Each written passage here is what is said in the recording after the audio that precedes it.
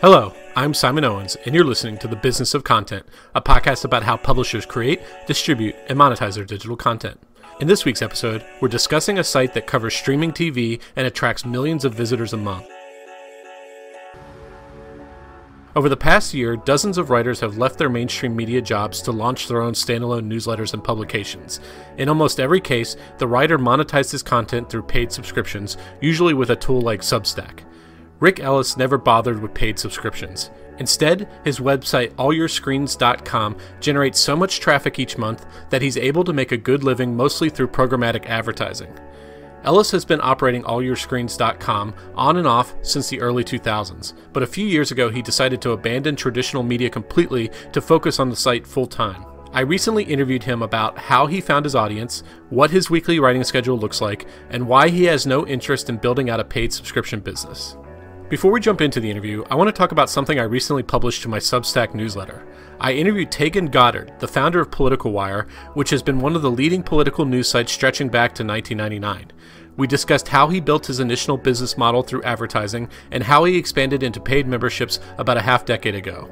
It's crucial reading for anyone wanting to build a paid membership business, and the only way to receive articles like it is to go to simonowens.substack.com and sign up. That's simonowens.substack.com or you can just Google the words Simon Owens and newsletter.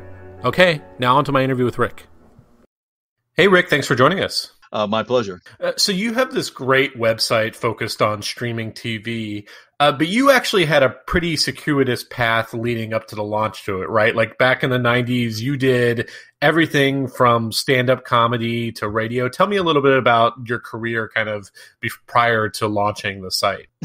yeah, I had a headhunter once describe my uh, my resume as eclectic, which I, I think is probably pretty accurate. Um, I spent most of my 20s doing stand up comedy.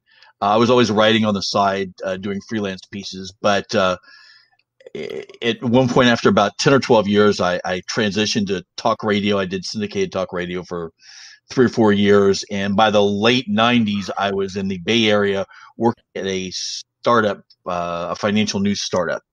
And um, it was all audio and video and i was still doing writing on the side uh, both for other online sites and I had started one of my own that was basically just a place to sort of archive things that I either wanted to do on myself or or things that uh, freelance pieces I'd done for other people. And uh, that was sort of the start of this website. It, it's uh, and it really all through the the aughts I was working on and off for big media companies and I would use this website as as a place to archive stuff and when I would get laid off I would spend all of my attention on the website for the whatever six months or a year till I got another full time job. And typically, when I got a full time job, they would say you can't do your website anymore. So it would kind of go back off to the side. And stand up comedy, that's from what I've heard, is a pretty brutal career, right? In terms of travel and kind of late nights and stuff like that. Was the transition to talk radio like almost kind of taking your comedic personality and putting it on the radio? Like, was that kind of the, the thinking there? You know, honestly, I wish I could say it was more. It was that planned. Uh, the the truth was that I've been doing it for ten or eleven years, and my mom was living in Arizona. She got sick, and I wanted to take care of her, and so I took time off the road, and I I didn't do stand up for about a year and a half. And at that point, the thought of going back out on the road was just more than I could deal with. And I was lucky someone locally offered me a, a job doing radio, and that turned into an entirely different career. I mean, it is sort of a lot of the same still, uh, skill set, but it, it wasn't nearly as planned as I wish I could claim it was. What was the focus of the radio show? And they were pitching it as uh, essentially Howard Stern without the, the rudeness sort of a uh, morning zoo throughout the day kind of thing. And uh, it was actually an interesting idea. We did pretty well with it. They were they were syndicating the, the 12 hours a day out of Phoenix. Uh, unfortunately for them, they were doing it just as the radio industry was starting to consolidate. So they were constantly in a situation of they'd get affiliates. Six months later, the affiliates would be bought by what was then Clear Channel. They had all flipped to Rush Limbaugh and all this stuff, and then they have to find stations again. And at some point, they just realized this just wasn't going to be viable. Uh, but the stations that had it really enjoyed it a lot. It was a lot of fun. And so then you went to media startups, you went to various like media companies, but you started this uh, you started this website And was it like a blog? Like was it in the early day day were you using like blogging software? What was what was kind of the setup of it? Well, I started uh, long enough ago that I was using Blogger and uh, GeoCities. Actually, was the first website I had, so I'm really old. Um, but I pretty early on I had my own domain, which really was actually an issue um, because back then, if you had your own domain, you had to pay for bandwidth. And the problem I would run into is if I wrote something people really read, it would cost me money. Um, maybe 2003, I wrote a bunch of pieces about Phil Donahue le- leaving MSNBC, and it got tons of traffic. It ended up costing me three or four hundred dollars to write the piece uh, paying for bandwidth, wow. which really yeah. isn't a sustainable model if you're trying to live. So uh, that was part yeah, of the reason. Like... part of the reason I didn't do it more back then was it just it just wasn't a sustainable kind of thing. That's why everyone was using Blogger because you just yeah. couldn't afford it otherwise. Yeah, I seem to remember that too. Like I had an early blog and some some and like some pieces would go really viral, and then like I would get some email from my hosting company saying like you're you're almost at your limit or you're going over your limit. And i remember the web like i'd make it onto the front page of Digg and it would just crash the website. Whereas i feel like today um, hosting is a lot simpler right? Like you just set it up on wordpress or squarespace you pay some amount and there's not really like those kinds of limits right? No and i have a little bit more robust setup just because of the, the amount of traffic i have. Like i have my own server through a web host and and and all that but it's still the the cost is really minimal uh, particularly compared to what it would have cost me 10 or 15 years ago. And and it's just so much easier now to do it. Really the that is the least challenging part of what i do is the, the technical side of it. Yeah, and so the the the first site that you uh, you created was called something like All Your TV, right? Right. I called it All Your TV, and I had that domain through uh, up until about 10 years ago. And at some point, I decided, well, look, TV's changing. I want to re- write about stuff that just specifically about broadcast television. So I got the, the idea of changing it to all your screens, which is sort of a mixed bag. It's more complicated for people to remember. It is all also more representative of what I do. So it, it's it's a bit of a mixed bag uh, that way, but uh, I, I, think it fits my mission statement a little better. And like, why TV? Like, w- was this something you were kind of obsessed with? You know, were you a heavy TV watcher? Did you want to be like a TV critic? Like, what? How did this fit into like your passion? You know, once again, I, I wish I could claim it was some really great uh, plan. I when I was doing stand up, I hardly ever watched television because obviously I was working, and when I was doing talk radio, I used CompuServe a lot to get uh, show prep. And I started hanging out at a, an entertainment forum that was on CompuServe, and they eventually offered me uh, some freelance work on the side. And I just sort of backed into it. I really loved the industry. I knew a lot of people in the industry uh, from doing stand up. You know, I have all kinds of buddies who are who are working in the the industry still. So I was really I had an interest in it and the more I got into it, it's it was a really good fit for my skill set because I didn't stand up. I sort of understand the creative side of it a lot more than than the typical critic would. Um, so it, it, it's just one of those things I I guess I always had a latent interest in it, but just didn't realize it till till I started writing about it. And what did it look like in those early days? Like, what kind of coverage were? What were you covering? Were you just reviewing TV, or what was the what? How was your how were you approaching it? Back then I was just writing about what I was interested in. And the one big difference between now and then is because it was so novel, I would frequently write about a show and have someone reach out to me and say, Hey, I, I'm, you know, I'm the writer for the show, or I'm the creator for the show, or I'm the star of the show. I'd like to talk to you because it was just one of those things that there wasn't a lot of people doing it. Now, of course, there's 50 million people writing about television, and it's a much different uh, environment all the way around. And uh, but you would get. Tr- how did you build the initial? You said that you'd have some like really heavy traffic months. How did you build that audience? How did people find you back then? Because this is this is kind of free pre social media, right? Yeah, it was pre social media.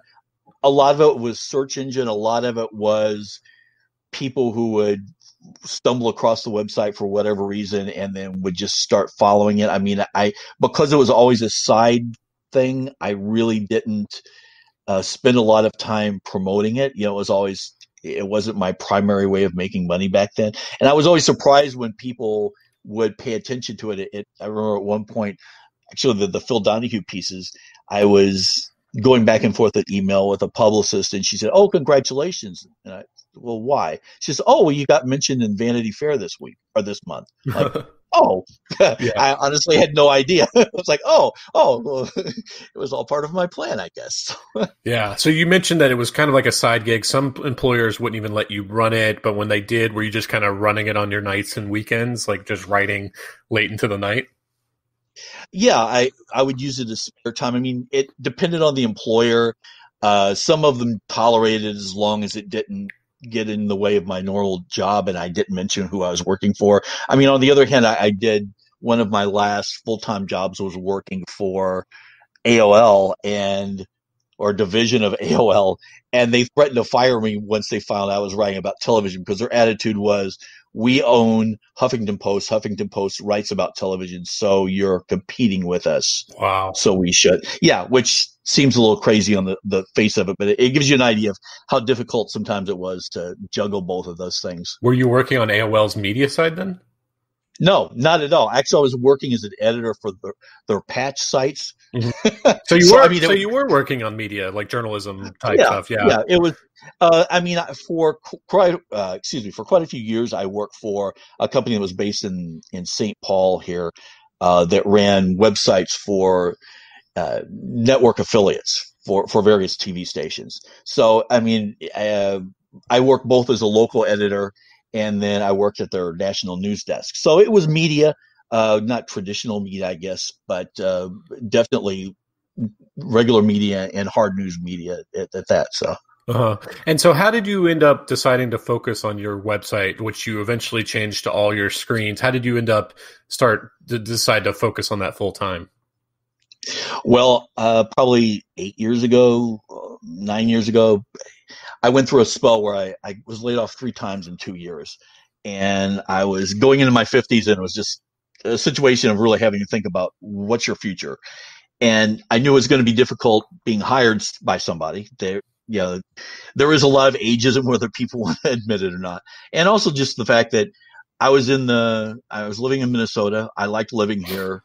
Uh, the education was really good for my kid. I didn't want to move, and if I was going to get a job somewhere, I was going to have to move to New York or Atlanta.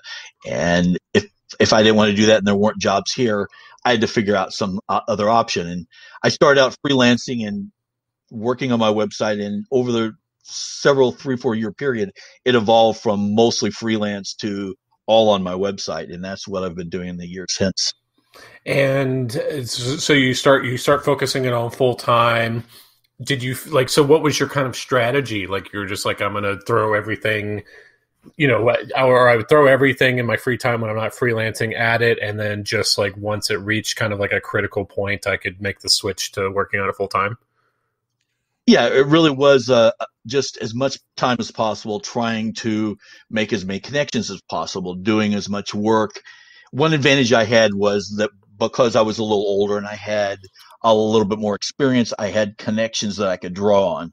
Uh, if I was 25 as opposed to at that point, you know, whatever, mid 50s, I wouldn't have known different people to call it to get interviews, to get news. And it was just a matter of just buckling down and, and hoping I can write some stuff that would uh, encourage people to work with me in the future. And so, eight or nine years ago, that's just like right at the, sort of the beginning of when you know Netflix starts ramping up its original content, and then a lot of other companies, um, you know, start following. I've heard that the, it it almost acted as kind of like a huge influx like obviously there's just so much premium content out there. Plus that was like the when facebook started trying to get into content in the sense of like sending a lot of traffic to news sites was that like kind of the perfect time for you to catch that catch that wave as everything was kind of like rising especially in the tv space? Yeah i mean when there's that much stuff people need uh, some voices trusted voices that can highlight stuff for them that can say, "Hey, look, I know everyone's talking about Westworld, but there's these eight shows that are really good you might not know about.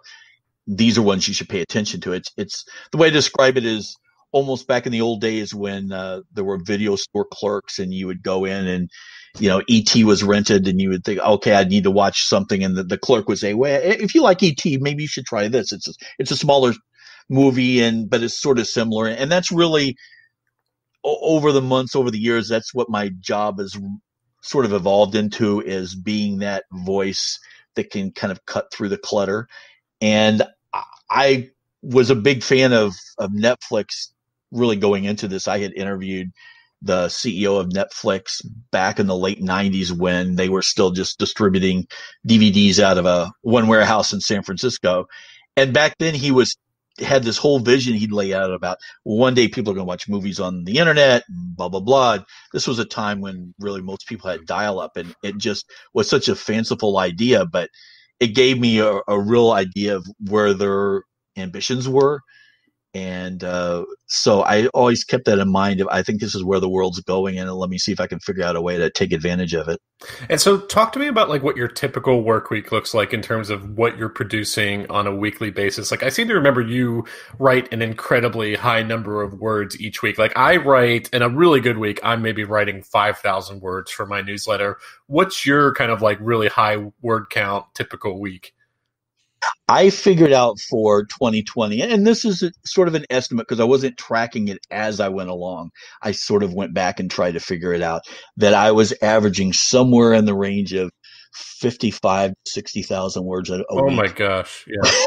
Which is just, it's a crazy amount. And look, I'm the first person to admit it's not all Shakespearean quality stuff. A lot of it's news items. A lot of it's, hey, look, this show's coming. Yeah. Here's just the details. But there's also some, I think, really good interviews, really good insight in there, and it's it's really a mix. Yeah. Uh, of different things, from goofball stuff to to hard news to think pieces about the the future of streaming television. But it's a lot every week. Yeah, and there's just so much like especially if you're getting to the aggregation game, which I think you're in, like there's so many trailers launched each week, so many announcements about casting or this is getting renewed stuff like that like that's just like you know gets people excited for you know like for instance like it was trending yesterday that michael keaton was going to be the new batman or it just like just constantly new stuff like that plus celebrities are always doing something that might be related to the shows they're on. So what's the kind of balance you're trying to strike between aggregating news doing original reporting and then doing reviews of tv shows? Like you're actually watching shows right and doing like i don't know re- reviews uh, recaps creating guides of the best movies to watch of the year. What's kind of that balance that you're trying to strike? Um, it's really a balance of trying to pick my battles.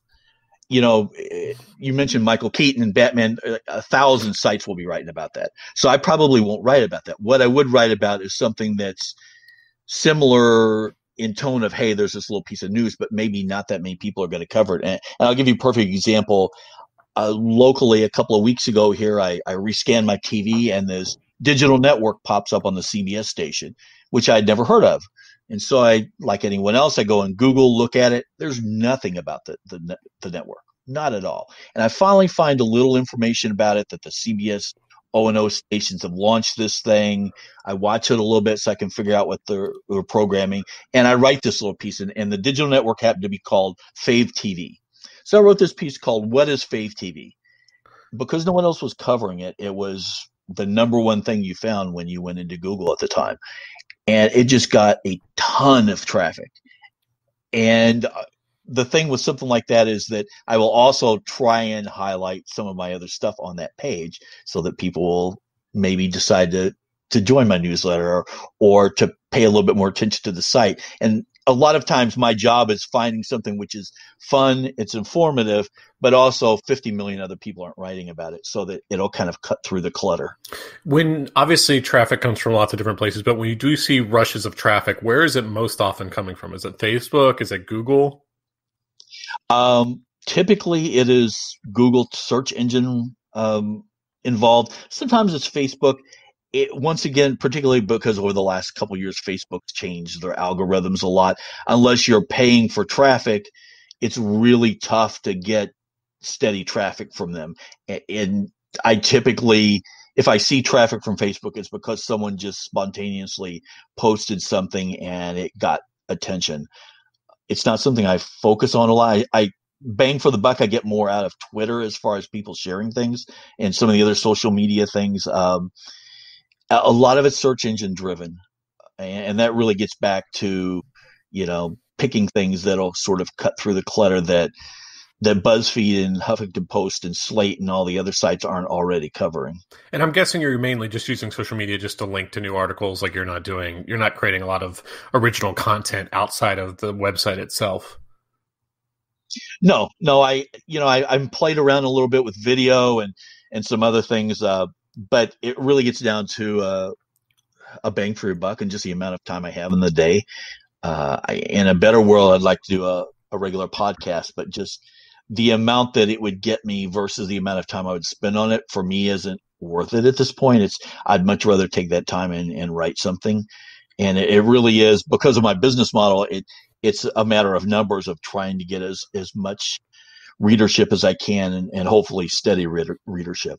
Do you feel like having to produce that kind of output? Do you feel feel any kind of burnout or anything like that, or times where it kind of starts to stretch you thin? I mean, there are certainly times, you know, I took the last 10 days or so more or less off.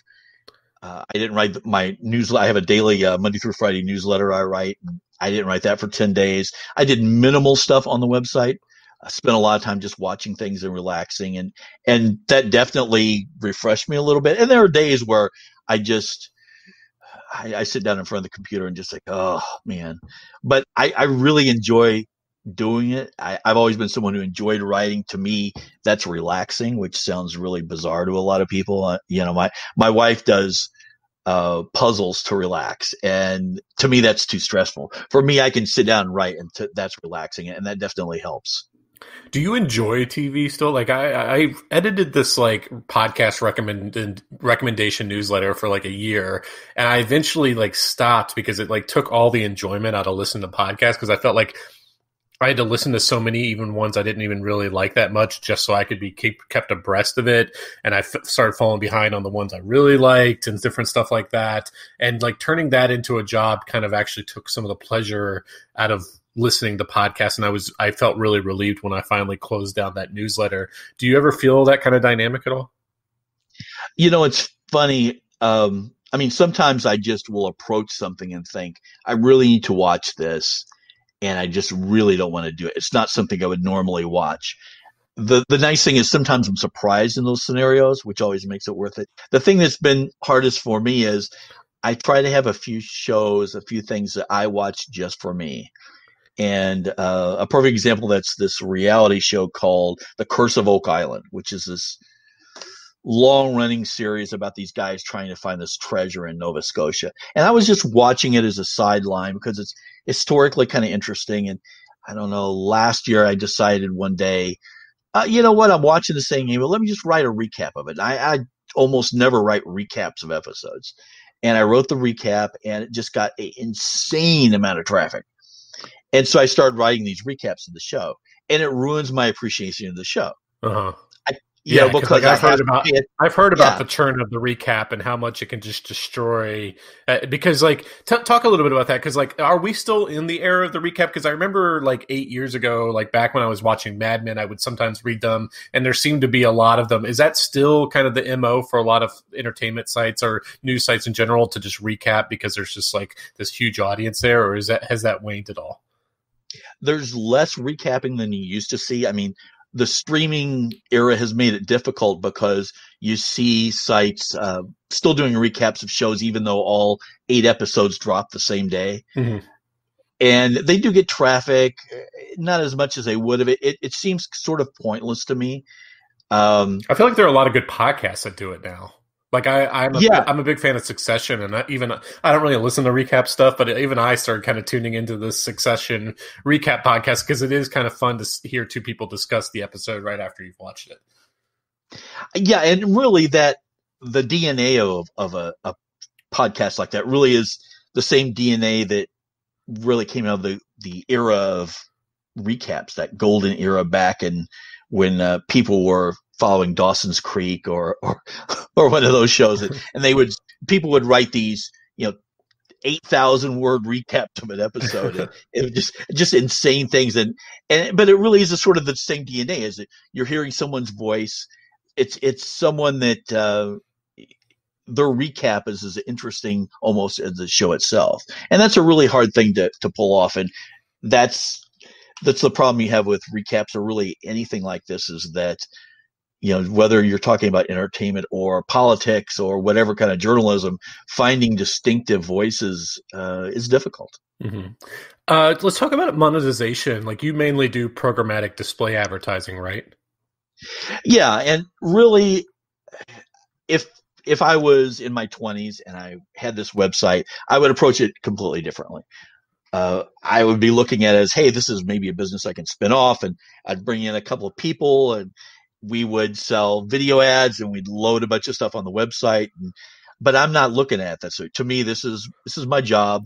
This will allow me to work as long as I want to. So all, what I'm really concerned about is generating enough money that that it's a job. You know that it pays a salary and and I make decent money and make, make a living and and so I can do that with the amount of traffic I get just doing display ads. It, you don't make a lot per page, but if you have enough pages and my overall costs aren't very high, I mean, it's really just me and the occasional freelancer. I do really well this way. I, I don't know that it's something I would recommend for most people, but it, it, it is a good look for me. And how does that work for from a solo practitioner? Like, are you just going to do? And I'm, and I would say one of my weaknesses is I don't know much about ad tech compared to you know someone who's really into that industry. But is it like shopping around for different networks that will, can offer you the best CPM and the and the technology that's least likely to slow down your website? Like, what, what is that how it works for, for you? Yeah, you know, the problem with any of this programmatic stuff is that there isn't a lot of transparency. Um, you know, you don't know what you're going to make until after the fact. And because all of it's done behind this veil of, of technology, you're just trying to estimate as best you can. You know, I, like most people, started out using Google AdSense. I still have a, a decent amount of Google AdSense ads on the site. I have it set up so that I have some other networks that pay better uh, and they I compare what those sites are offering me versus what Google's offering me, and it just automatically chooses the better rate, and it's all sort of done behind the scenes automatically.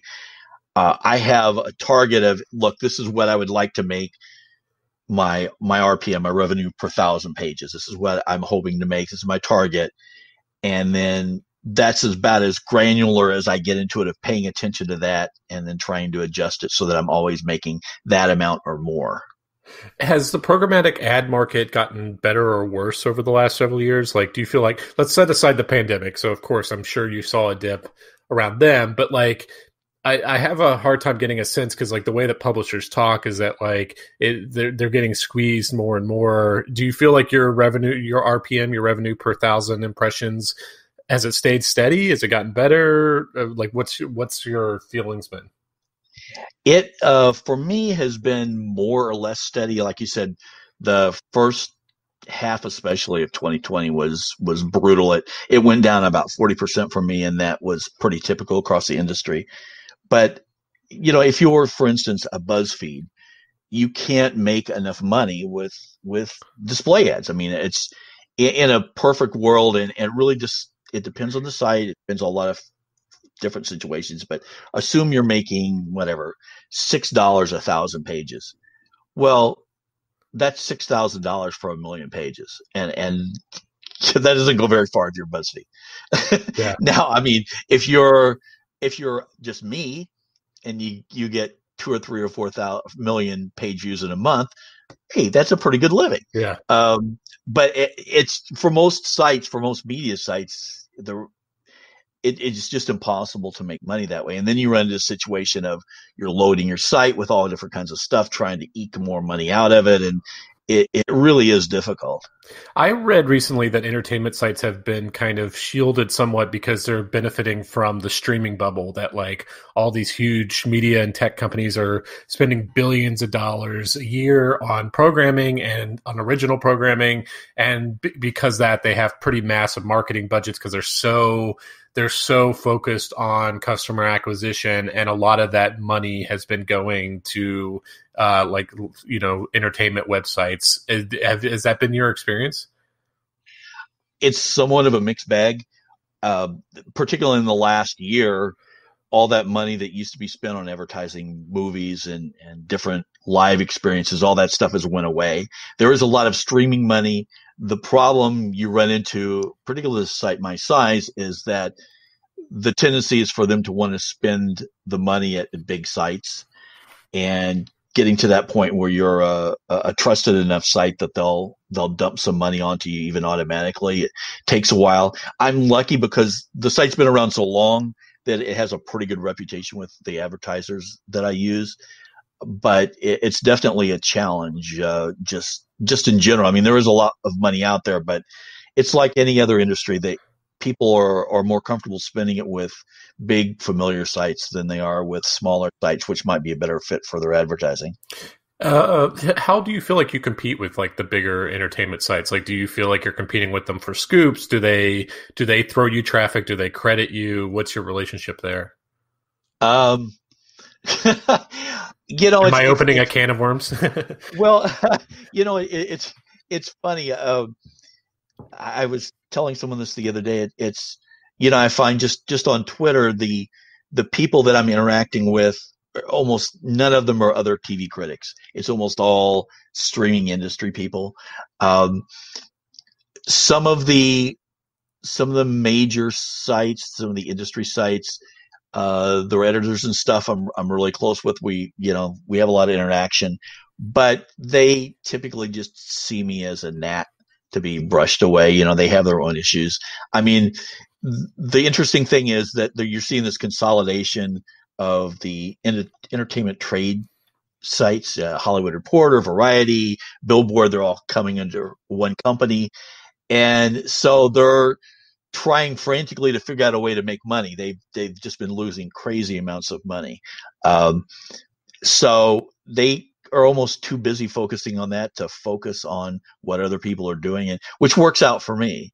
And it's also they can't because they're they're concerned about money because they have limited resources even though they've got you know a staff of 50 or 60 or 70 people uh, there are a lot of things that they just can't justify covering and that's that's a perfect niche for me i mean if if a show has a, a million vis a million viewers that might not be enough for a hollywood reporter to care but that's enough people who are going to be looking for coverage of that show that I can make a really good living covering. And that's really been my attitude. I sort of ignore what everyone else is doing, look at what what are those spots in there that other people don't care about or or the other people, you know, it's it's programming that people sort of shrug off, laugh off, but there's there's viewers for it. That that's that's money to be made. It's almost like uh, uh, Whole Foods. You know, Whole Foods doesn't uh, doesn't sell everything, doesn't carry everything, but the people who are looking for those organic bananas will go to Whole Foods and pay extra because they know that's where they can find it, and, and that's kind of my attitude overall. And is it is your advertising is hundred percent programmatic? If someone approached you and said, "I want to sponsor your site," would you be able to handle that, or is that not even worth your time? I've done some sponsorships like that. I will occasionally have uh, situations where either someone takes over the whole front page, uh, you know, with one of those really big takeover ads, or sponsored posts of some sort, or some kind of partnerships. I, yeah, I do get some of that stuff. Um, really, it gets down to a case by case basis. Sometimes what they want to do, I don't feel comfortable with editorially. Uh, sometimes it's just not worth the money for what they're talking about.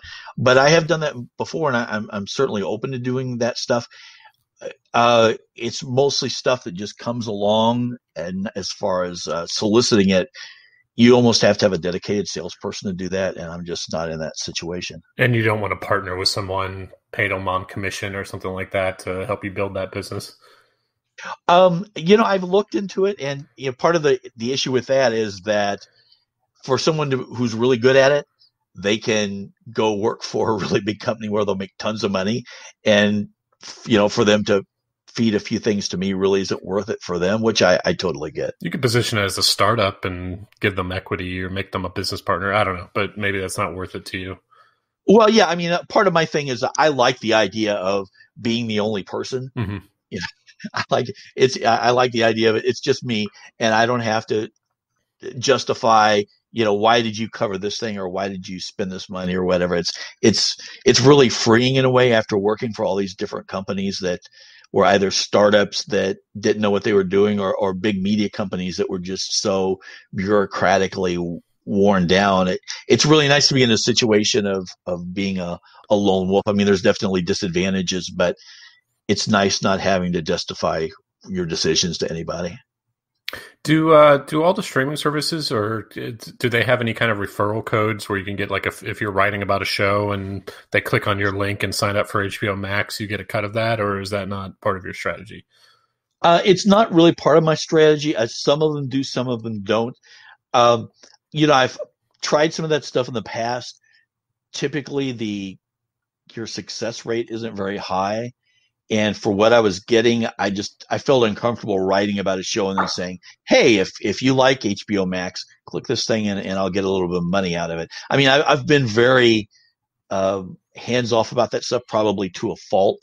And one of the alterations I'm making going into 2021 is just at least giving people an option to donate a little money to the site if they want to just uh, because I, I don't want to get into a subscription model. Even with my newsletter, I I don't want it to turn into a subscription deal. I will. I think I get a lot of coverage having a, a free newsletter people can pass around, but I do get people pretty frequently saying, "Hey, look, I would pay for this, or is there a way I can support you directly?" And and I want to make that possible because I, I think that that's that's a good option that doesn't get into any sort of editorial issues. You know, I, I like the idea of if, if I hate a show, being able to say, Hey, I hate a show and not have to worry about the advertiser ramifications of it. With the newsletter, are you publishing anything in a newsletter that doesn't appear on the site or is it just linking to articles on your site? Uh, it is almost entirely different than the site, which is not really the way that I had planned it. But what it's turned into essentially is um, a Monday through Friday newsletter there's generally some links to outside stuff that are jumping off points for, for me to write about say, oh, Bloomberg wrote about this. This is why I think this is important. This is why I don't think it's important. And then there's some daily listings at the bottom. It's very different than what you'll see on the, the news on the website. Um, the the readership of it, based on people's email addresses and, and the feedback I get, is very industry centric, much more so than the website. It's almost a different audience, which I guess is good. I, I haven't quite decided if that's a good thing or not. I do link to stuff that's on the website and I can see what people click through. So they are clicking through to the website. Um, but the newsletter gets a, a, pretty good open rate, you know, so I, people are reading it. Uh, it has helped the website a little bit, but it's it's definitely almost a different business.